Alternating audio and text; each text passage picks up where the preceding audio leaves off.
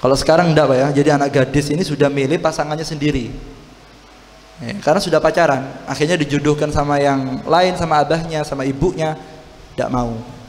Padahal perempuan itu tidak boleh milih, apa katanya orang tuanya. Beda kalau rondo pak, kalau dia itu apa namanya sejiba, perempuan yang sudah pernah menikah, sudah pernah kumpul sama orang laki, mantan suaminya, lalu dia akan menikah, maka orang tuanya, maka wajib untuk meminta izin kepada anak yang sudah janda tadi itu. Tidak bisa, artinya apa? Semena-mena mengawinkan tidak boleh karena sudah sudah menjadi seorang janda.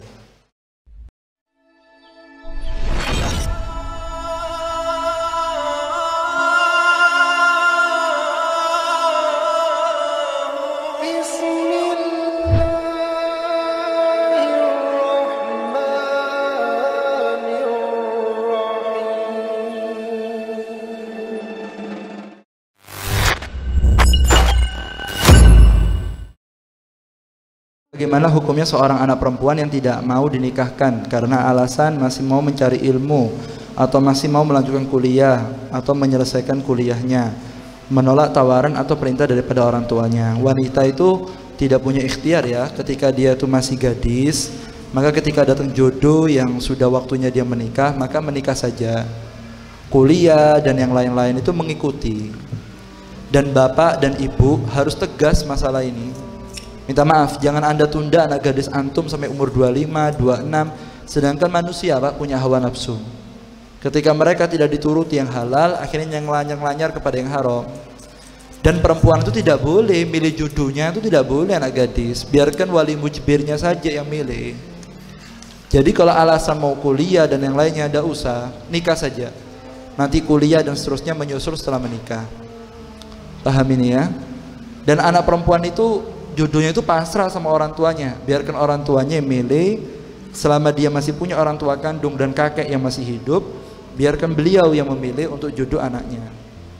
Dan anak perempuan itu tidak boleh ya karena PDW milih pasangan hidupnya. Karena perempuan ini tidak tahu Pak. Karena menikah itu sesuatu yang sifatnya sensitif. Dan tentu orang tua pasti menginginkan yang terbaik untuk anaknya.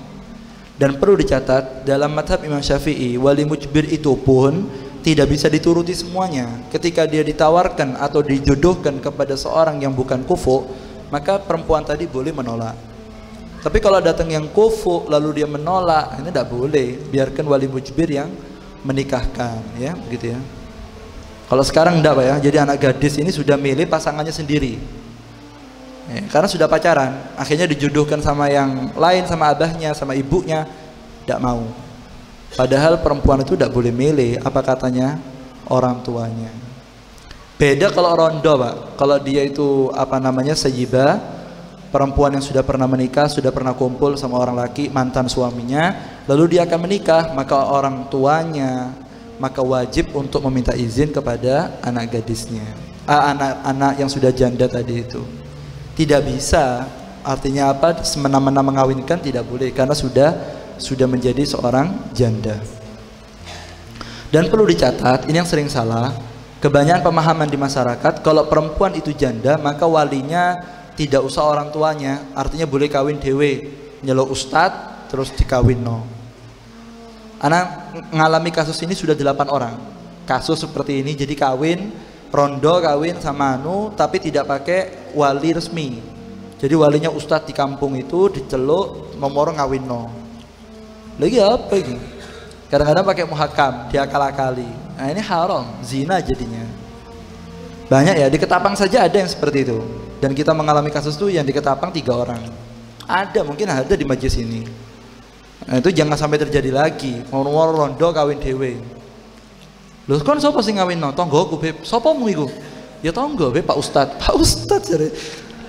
Masya Allah, anak juga Ustad ya bisa mengawinkan kalau begitu. Ya ki suruh kawin biar aku akhir ngomong ngomong ini.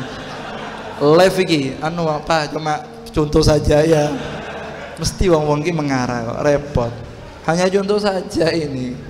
Peti aku ingin ingin. Sudah pada wis ya. Singkat saja, ini kalau ada orang sholat berjamaah, ini ada orang tanya masalah KB. Bagaimana Habib kalau ada orang yang menggunakan suntik KB, diniati agar tidak datang bulan? Ini sudah dijawab ya. Sudah dijawab pada pertemuan sebelumnya bisa dicek Kalau salat berjamaah suara imam tidak kedengaran dan saat membaca surat setelah Al-Fatihah kita tidak mendengar. Lalu kita melakukan apa? Habib ya baca Fatihah saja. Diselesaikan Fatihahnya lalu ikuti gerakannya imam. Kemudian izin bertanya Habib yang terakhir jika kita punya wudhu lalu kita tidak sengaja menginjak kotoran ayam. Apakah wudhu kami batal Habib? Tidak batal. Karena menginjak kotoran ayam itu tidak membatalkan kepada wudhu Wallahu a'lam